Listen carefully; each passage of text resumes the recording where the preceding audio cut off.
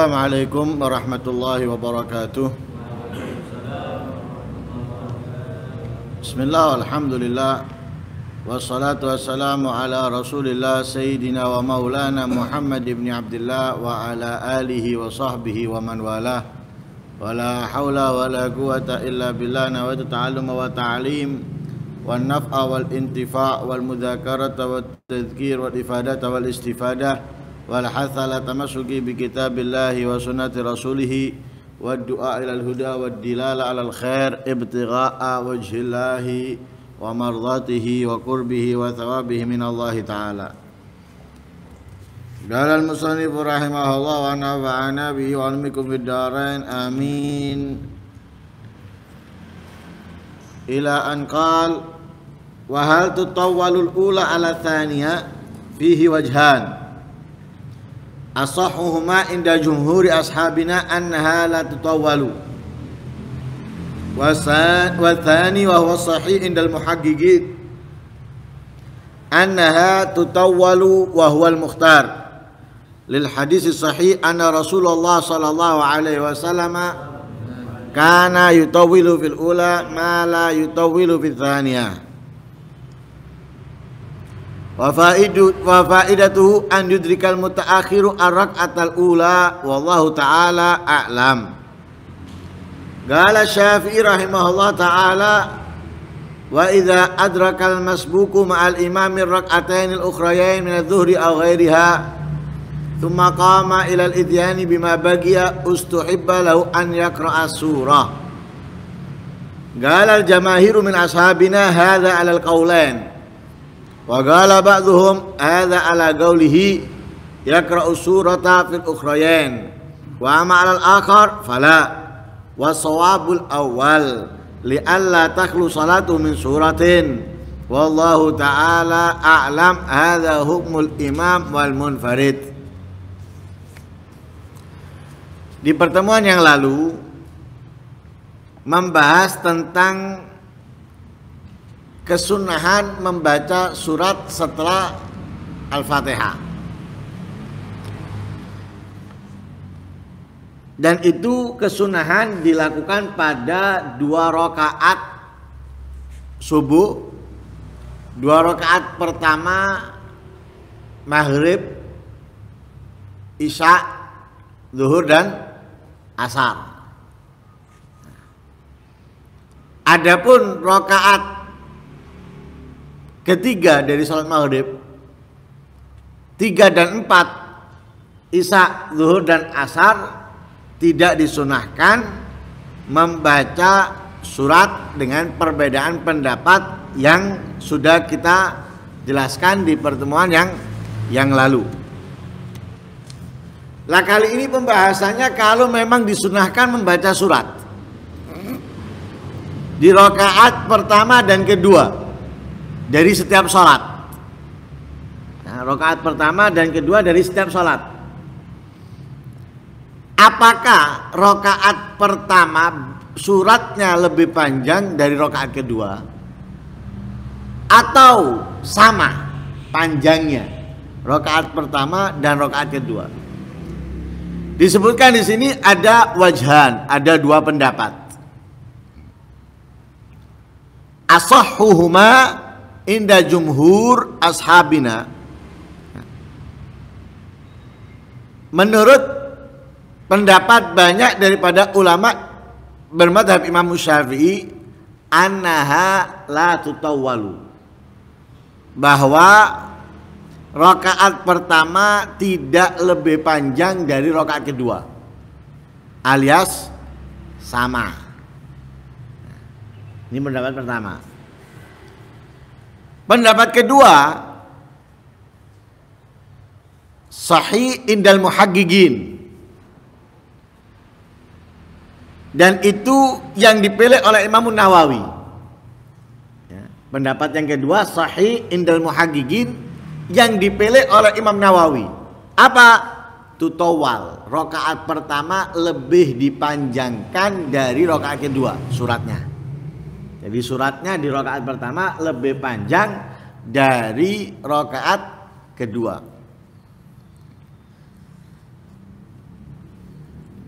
Karena itu para salaf, para ulama membaca Fatihahnya saja sudah beda antara rakaat pertama dan kedua. Rakaat pertama memanjangkan mim daripada Maliki Yaumiddin. Maliki Yaumiddin, panjang mimnya. Maliki Yaumiddin. Rakaat kedua mereka membacanya mimnya pendek. Maliki Yaumiddin. Loh. Menyalai Al-Qur'an tidak. Karena ada dua riwayat. Ada dua riwayat. Ada yang membaca Maliki Yaumiddin, ada membaca Maliki Yaumiddin. Karena itu jumlah huruf Fatihah ada perbedaan. Ada yang mengatakan Maliki Yaumiddin berarti hitungannya lebih banyak daripada yang Maliki Yaumiddin. Nah, karena itu para ulama dalam baca Fatihah rakaat pertama dan kedua itu nggak sama. Begitu juga suratnya. Kebanyakan karena itu yang dipegang apa oleh Imamun Nawawi. Ya, Imam Nawawi lebih condong pendapat ini yaitu rakaat pertama lebih panjang daripada rakaat kedua. Apa pedomannya Imam Nawawi? Hadis sahih bahwa Rasul Shallallahu Alaihi Wasallam karena yutawwilu fil ula. Nabi itu memanjangkan rakaat pertamanya. Malah yutawilu bitanya yang panjangnya tidak sama dengan rakaat kedua. Memanjangkan rakaat pertama melebihi panjangnya di rakaat ke kedua. Nah, itu yang diriwayatkan oleh Imam Bukhari di hadis ke 759 dan yang diriwayatkan oleh Imam Muslim di hadis ke 451 dari Abi Qatadah radhiyallahu anhu karena Nabi sallallahu alaihi wasallam yaqra'u fi rak'atain fi rak'atainil ulayain min salati dhuhri bi fatihatil kitab wa suratain yutawilu fil ula wa yugassiru fi thaniya. Wa yusmi'ul aya ahyanan.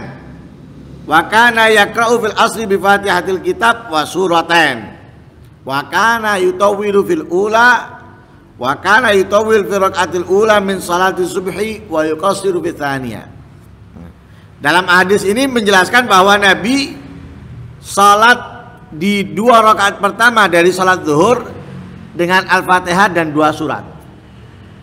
Salat zuhur setelah membaca Fatihah Nabi membaca dua surat. Kemudian rakaat pertama lebih panjang dari rakaat keduanya. Bahkan terkadang ayat yang dibaca itu diperdengarkan oleh Rasulullah. Jadi kadang-kadang diperdengarkan, artinya apa? Membacanya agak keras. Sehingga para sahabat itu mendengarkan bacaan suratnya Nabi. Ya. Begitu juga sholat asar. Membaca setelah fatihah surat. Dan rokaat pertama lebih panjang daripada rokaat kedua. Dan juga sholat subuh Rakaat pertamanya lebih panjang daripada rakaat kedua.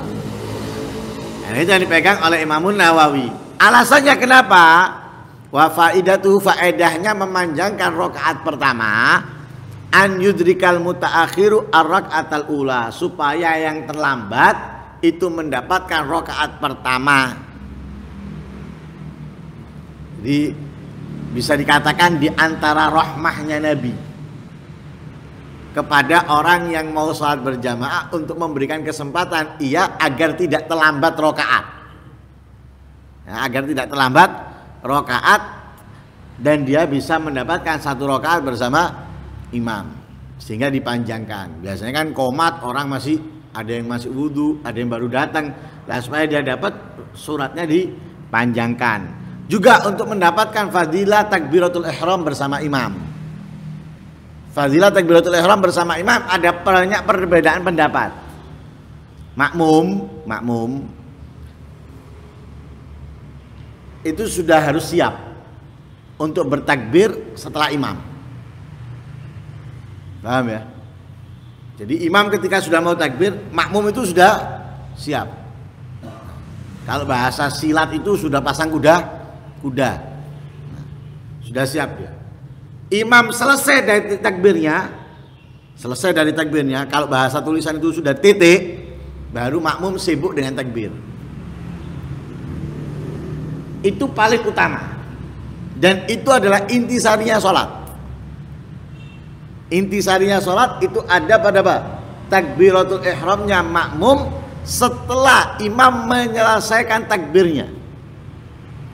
Bahkan itu lebih utama, lebih mulia dari dunia dan seisinya.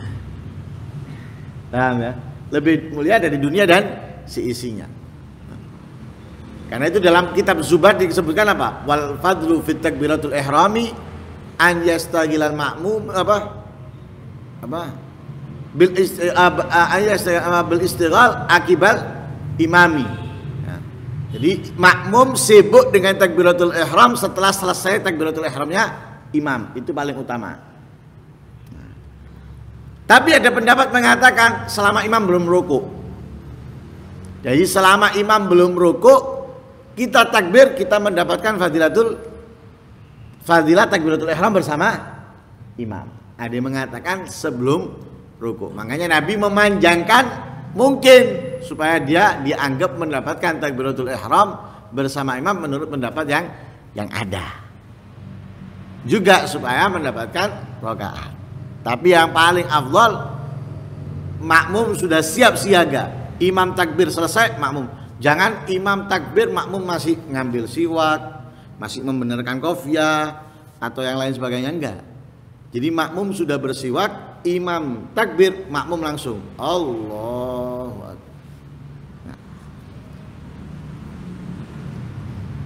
Imam Syafi'i berkata, وإذا أدرك المسبوق مع الإمام الركعتين الأخريين من الظهر أو غيرها ثم قام إلى الإتيان بما بقي استحب له أن يقرأ السورة.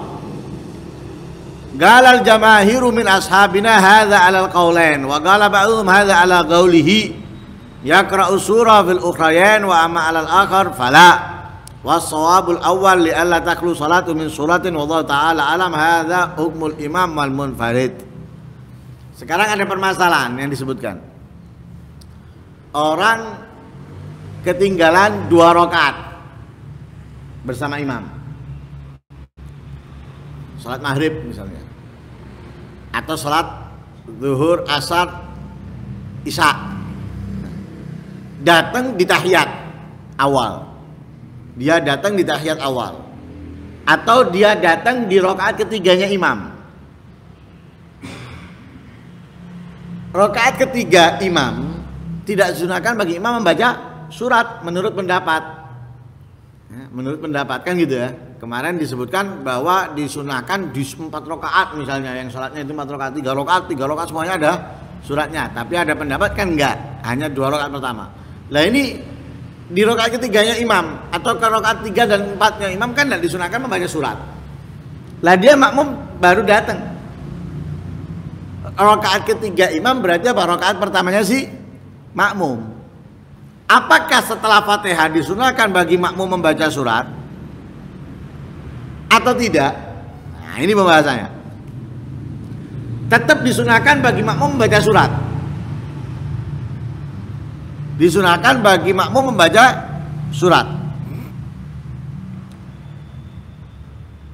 Kapan kesunahan makmum setelah Fatihah membaca surat itu tetap? Dan itu dikatakan oleh jamahir min ashabina. Tapi kapan? Nah, di sini ada yang mengatakan ya surah fil ukhrayain. Membaca surat di dua rakaat terakhirnya makmum.